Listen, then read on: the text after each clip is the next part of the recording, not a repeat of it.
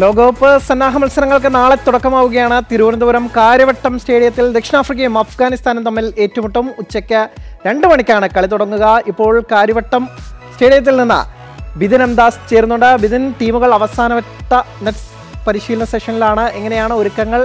കാത്തിരിക്കുന്ന പോരാട്ടമാണ്. പ്രത്യേകിച്ച് ആരാധകർക്ക് ഇഷ്ടമുള്ള ഒത്തിരി താരങ്ങൾ സൗത്ത് ആഫ്രിക്കൻ നിരയിലാണെങ്കിലും അഫ്ഗാൻ നിരയിൽ റാഷിദ് ഖാൻ അടക്കമുള്ള താരങ്ങളുമുണ്ട്.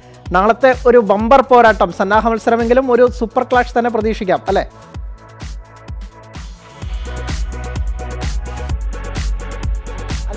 ലോകകപ്പ് മത്സരങ്ങൾ കാര്യവട്ടത്തേക്ക് കേരളത്തിലേക്ക് എത്താത്തതിന്റെ ഒരു നിരാശ ആരാധകർക്കൊക്കെ തന്നെയുണ്ട്. പക്ഷേ അതെല്ലാം മറികടക്കുന്നത് നാല് സന്നാഹ മത്സരങ്ങൾക്ക് കാര്യവട്ടം വേദിയാകുന്നു എന്നുള്ളത് കൊണ്ട് തന്നെയാണ്. അതിന്റെ ഒരു കാത്തിരിപ്പ് ക്രിക്കറ്റ് ആരാധകർ പ്രത്യേകിച്ച് മലയാളി ക്രിക്കറ്റ് ആരാധകർക്ക് എല്ലാം തന്നെയുണ്ട്. ഇപ്പോൾ കാര്യവട്ടം സ്റ്റേഡിയത്തിൽ നമുക്ക് ദൃശ്യങ്ങളിൽ കാണാം.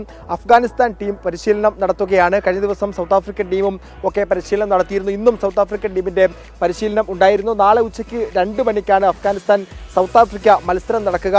ഈ രണ്ട് ടീമുകളിൽ മുമ്പ് എന്റെ സൂചിപ്പിച്ചതുപോലെ തന്നെ ഒരുപാട് ഇന്ത്യൻ ആരാധകർക്കൊക്കെ താല്പര്യമുള്ള ഇഷ്ടമുള്ള ഒരുപാട് താരങ്ങൾ ഈ രണ്ട് ടീമുകളിലുമുണ്ട്. അതുകൊണ്ട് തന്നെ ഒരുപാട് ആളുകൾ കളി കാണാൻ വേണ്ടി ഇവിടേക്ക് എത്തുമെന്നൊരു പ്രതീക്ഷയാണ് ആ സംഘാടകർക്കൊക്കെ തന്നെ ഉണ്ടായിരുന്നത്. കാര്യമായ രീതിയിൽ ഇന്ത്യയുടെ മത്സരത്തെ ഇന്ത്യ നെതർലാൻഡ്സ് മത്സരത്തിന് എത്തുന്ന അത്ര കാണികൾ ഇല്ല എങ്കിൽ പോലും നാളെയും ആരാധകരുടെ ഒരു ഒഴുക്ക് ഇവിടേക്ക് ഉണ്ടാകുമെന്ന് തന്നെയാണ് കണക്ക് കൂട്ടുന്നത്. ഇന്ന് വൈകിട്ട് നെതർലാൻഡ്സ് ടീം കൂടി ഇവിടേക്ക് എത്തും. അടുത്ത ദിവസം ന്യൂസിലാൻഡും ഓസ്ട്രേലിയയും ഇവിടേക്ക് എത്തും. നാല് സന്നാഹ മത്സരങ്ങളാണ് കാര്യവട്ടം സ്റ്റേഡിയത്തിലുള്ളത്. നാളെ അഫ്ഗാനിസ്ഥാൻ സൗത്ത് ആഫ്രിക്ക മത്സരം കഴിഞ്ഞാൽ പിന്നെ മുപ്പതാം തീയതിയും രണ്ടാം തീയതി മൂന്നാം തീയതി. മൂന്നാം തീയതിയാണ് ഇന്ത്യയുടെ മത്സരം നടക്കുക. ഇതിനൊന്നും തന്നെ ഒട്ടും ആവേശം കുറയ്ക്കുന്ന രീതിയിലായിരിക്കില്ല. വളരെയധികം ആവേശത്തോടു കൂടി തന്നെയാണ് മലയാളി ക്രിക്കറ്റ് ആരാധകർ ഇതിനു വേണ്ടിയുള്ള ഒരുക്കങ്ങൾ നടത്തിയിരിക്കുന്നത്. ഏറ്റവും പ്രധാനമായും കരിവട്ടം ഗ്രീൻഫീൽഡ് സ്റ്റേഡിയത്തിൽ നാല് പിച്ചുകളാണ് നാളത്തെ മത്സരത്തിന് വേണ്ടി ഒരുക്കിയിരിക്കുന്നത്. നാലും ബാറ്റിംഗ് പിച്ചുകൾ ബാറ്റിംഗ് അനുകൂല പിച്ചുകൾ എന്നാണെന്നാണ് ഈ പിച്ചൊരുക്കിയ കുരേറ്റർ ബിജു അടക്കമുള്ള ആളുകൾ നമ്മളോട് കഴിഞ്ഞ ദിവസമൊക്കെ സംസാരിച്ചപ്പോൾ പറഞ്ഞത്.